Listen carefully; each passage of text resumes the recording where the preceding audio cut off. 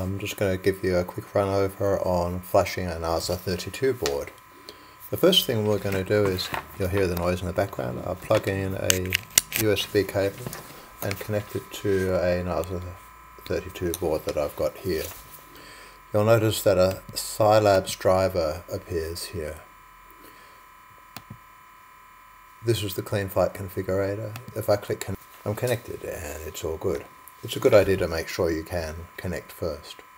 I'll click disconnect. You'll notice that here there's firmware flasher. If I click firmware flasher, there are a couple of options.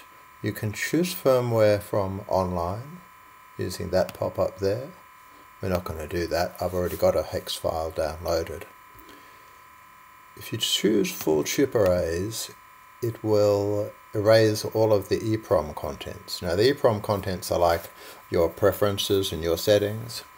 Uh, the code itself, which we can load by loading a, a hex file from here, uh, the actual code itself is the program. What we're going to do here is a full chip erase and reload everything by hand. Now you're going to say, well, from what? Well, we'll get to that later. so first thing, load firmware. So click that. And here we go, I've got uh, a CleanFlight build directory, uh, it's got an object folder, and I've created a hex file for Naze and also one for SP Racing, but that's a file there that we could load. Uh, I've also got one of uh, Boris's hex files with reverse LEDs here, and we could choose that one. Uh, I'll just go here and choose the hex file that I've got. You can download them uh, from a variety of places. So I just select that and make this window a little bit more so you can see it and click open. Now at this point it just says loaded firmware. I then click flash firmware and hey presto it flashes it. So now we've replaced the operating system of the board with a new operating system. Because I did a full chip erase, all of my settings are now gone. I can't get them back. They're gone for good. Go up here and go connect. Bingo bango. That all looks good. But when I go to ports, I'll find that I've got one set to MSP and that's the connection to the computer. I've got no receiver settings. I go into the configuration. I've got a set of default values, but I don't uh, it's defaulted to a parallel uh, radio and various other things that I don't want. Uh, it doesn't have any of these other features set properly. PID tuning, well it will always default to multi-wii on a clean install. Now, I can change this profile number 1 here to use LuxFloat which I happen to like and when I go save here I now get some LuxFloat defaults that were stored in the hex file. Um, these default values are not always good, but the ones I use have got reasonable defaults. These, I think, don't know where they came from. The receiver is not running, I haven't got my transmitter on, but it wouldn't have worked anyway because in the configuration here uh, I'm actually using PPM and that's not selected. So I'd probably have to set that to PPM and do something on the ports. The other thing is all of your switches are under modes, none of them are set. That's a real pain, got to rebuild them all by hand. And the switches are separate. So let's say I go to modes here and I put a, uh, make it so horizon exists there and save that. I go back to PID tuning profile number one, that's fine. Go back here, yep, that's the switch we just made. But that switch is tied to profile one.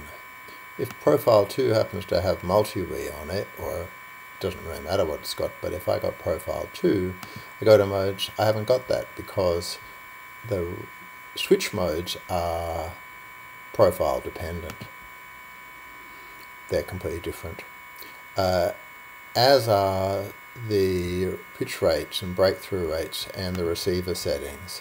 These are all profile dependent. So how on earth am I going to get all of this stuff back? Well, one way of doing it is to have previously saved it. Now under setup, it's possible to do a backup button. I press backup here and I just get a, a file uh, that I can save to you know my desktop or hard disk or somewhere. That's a backup file. Now if I go restore here, it'll ask me for that backup file or some backup file and try to restore the whole Naze board or whatever board you got with those settings. The only problem is that, that the version of the configurator has to actually match the version of your file. So here's configurator version 0.65 down in the bottom corner.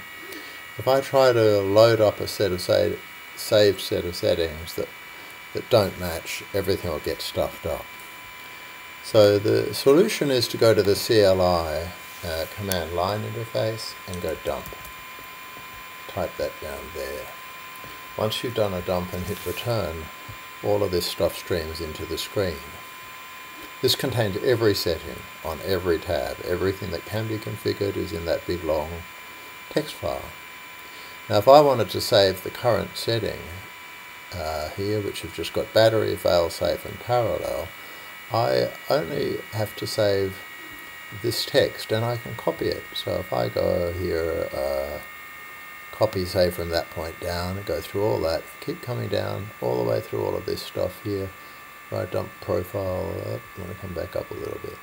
If I stop at that point there, at black box device, before I get to profile, I've divided this thing into two chunks.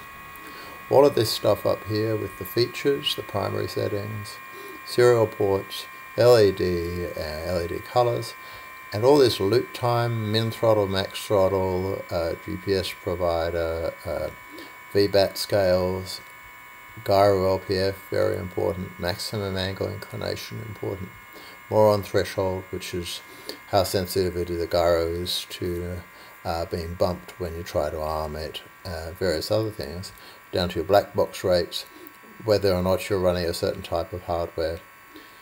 These are all system settings. There's one set of system settings. So if I go Command C for copy and go to a text editor application of some kind, which I have slightly off screen here, and make a new text document, I can paste that in and save that file.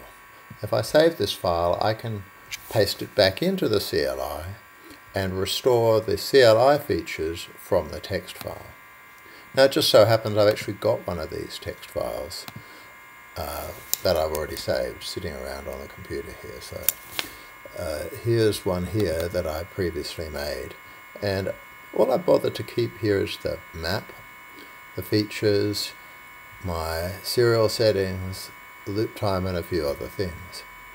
So let's say I just copy some of that stuff down as far as there, go copy and tab over back to my configurator. I can click it in here and go paste and hit return. Now what you'll see at the bottom of the configurator now is that it has enabled failsafe, enabled one-shot, enabled black box, enabled PPM because they were features that I had here. It set the th radio map to throttle aileron elevator and whatever R is uh, in that order and done that. So all of those settings and now my loop time is set to 1350, not the default one, uh, whatever it was. Now I can go down here and run down and get some more of this stuff. Best not to do too much.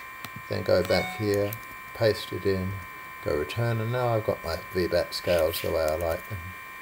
And I come down here and get the last bit of it, copy that, backwards denominator of 2, and paste it in. Now what I've done is I go save, this is very important, type save and press return, that's saved. If I now go back to my configuration, it just takes a little while to, to save it. All those values I just pasted in here. I've got a PPM uh, radio, the VBAT voltage is defined, my minimum throttle is different, I've got one shot on, I've got black box on, and a whole bunch of other settings that we can't see are now active. The serial ports are now different. I've got black box logging over USB. And I didn't have to do the save. That happened in the CLI. So the next thing is to have a look at the uh, actual profile itself here. So I'm going to go to profile number one and save that. Go to the CLI and go back to our text editor and grab a profile that I saved. Now, You'll remember that we'll do a dump here. If I do this dump process and we scroll back up a bit and just stop at about this point here, where it says profile O, that is the first profile of the three profiles. This one's got one auxiliary switch currently set. Uh, you can have 19 settings there and various other things. But this includes, especially down the bottom here, your RC rates, the rate profile uh, that's currently active, and your PIDs, all those settings. So I'm going to go to a previously saved uh, document that's got my yeah, profile number one. The first thing I like to do is get these ones, the auxiliary switches, and do that first. So I'm going to copy, put that over here, copy that, uh, and now I'm going to go back to CleanFlight, paste that in, go return. Now that's all I get, but that'll do me. I go back to the text document. Now, why did I do them? Because they just don't seem to stick. There are a couple of bits. So I'm going to go down here, copy some of that, paste it in, hit return, and you can see it looks like it's trying to do it for me. I scroll down a bit further, get all of that, go here, paste it in. Yeah, I'm not even bothering to read it. I don't care what it is. Now here, look, that's some PIDs, we'll copy them, and we'll paste them in, and we'll come back again here. Now here are our RC rates. We're going to get maybe that bit there where it says RC profile 0, and we're going to paste that in. And we've done all that, and then the magic SAVE, save, and hit return. Now, that's all good. Click PID tuning. Now, if we're really lucky, everything is going to be here. And it doesn't always work, so you just have a check. Yeah, look, quite different PIDs from what we had. My crappy very low P values, my special very low level value. I've got roll and pitch rates, which weren't configured before.